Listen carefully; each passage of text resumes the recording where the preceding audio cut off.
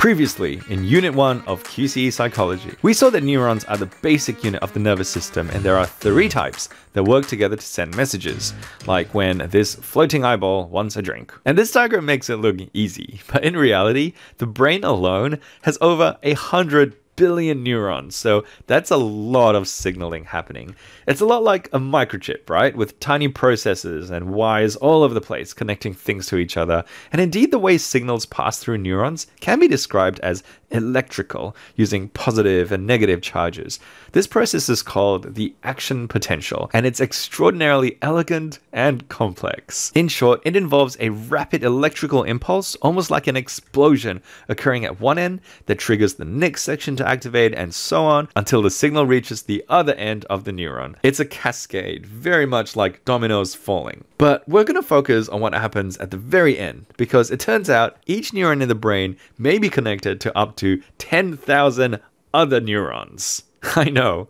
We call these connections between neurons synapses. So we're talking up to a quadrillion synapses in the brain. That's one with 12 zeros. And even crazier, in the middle of each synapse is a complete gap. Turns out, unlike electrical wires, neurons in the body aren't actually physically connected to each other. Discovering how signal transmission occurred across the synapse was one of the most exciting and revealing things in brain science and psychology. It's no exaggeration to say that it fundamentally changed neuropsychology. Discovering how signal transmission occurred across the synapse was one of the most exciting and revealing things in brain science. It's no exaggeration to say that it fundamentally changed neuropsychology. So let's get to know it.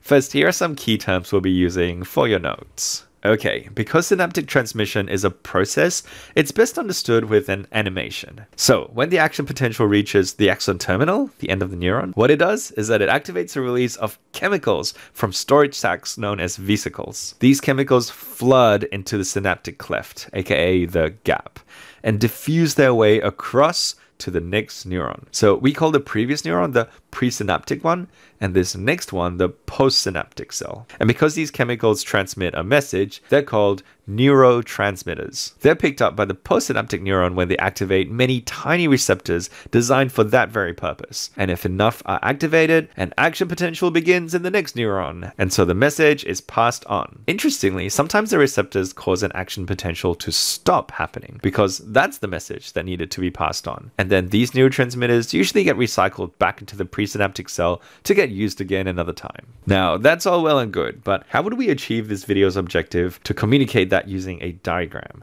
Well, a quick Google search will show you that there are so many diagrams that are all correct, but with different levels of detail. This one, for example, gives a really nice sense of the scale of what's happening. This one labels the entire neuron and then focuses on just what's happening here in the synapse. But I think this one is the simplest of all, and it still effectively communicates neurotransmission. And of course, it won't hurt at all to practice drawing this into your notes. So firstly, you want to make sure that you have your presynaptic and postsynaptic neuron. In this diagram, they're just called cells, which I actually prefer because sometimes either of these two cells aren't actually a neuron. Either way, we have our neurotransmitters being released from these sacs inside the presynaptic cell. They cross the gap and they activate receptors on the postsynaptic cell, passing on whatever message they're supposed to. And if you got all that in your diagram, good job. You've communicated neurotransmission. And like I said before, sometimes the message for this postsynaptic cell is that it should start an action potential. So we would say that this neuron has been excited, but sometimes the message is to stop